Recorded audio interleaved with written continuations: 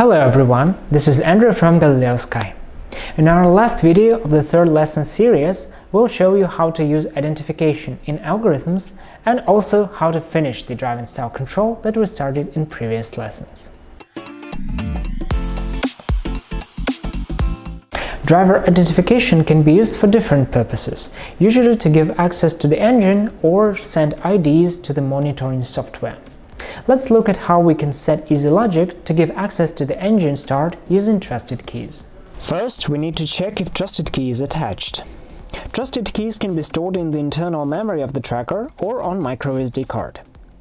In order to check trusted keys from internal memory, we use variable iButtonsState.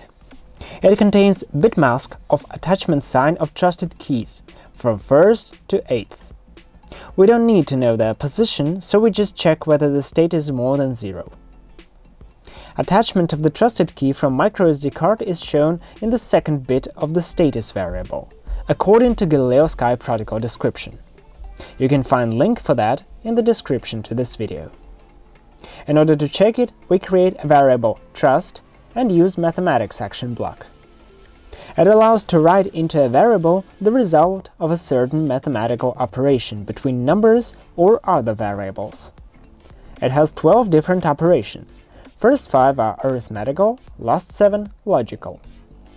We need a logical operation of comparison that will check that second bit has attached trusted key sign, or in other words, is showing 1. For that, we use existing variable status in the left side. In the right side, decimal number, which has second bit active in it, which is 4. As the operation itself, we choose operation AND. After that, we check if the result saved in the trust variable is more than 0.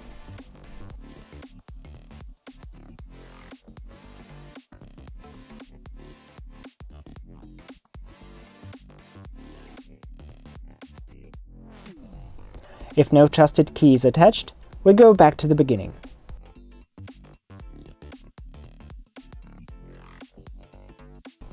If any trusted key is attached, we open an output that controls engine fuel supply, for example output 0. Next, we add a time limit, during which the driver is allowed to start the engine, by adding a delay block of 1 minute and afterwards checking if the ignition is on.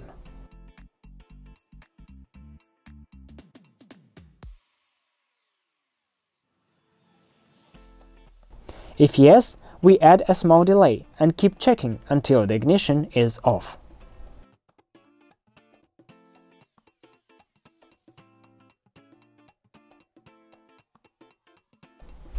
Eventually, when ignition turns off, we block the engine, which is out zero, and go back to checking the trusted keys.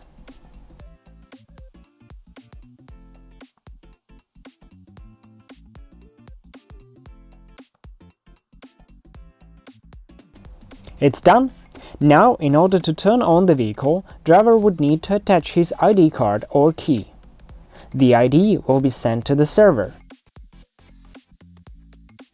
Within four simple videos, we created a full driving style control algorithm, where we use different acceleration and speed variables, set different violation reactions, used custom commands and identification.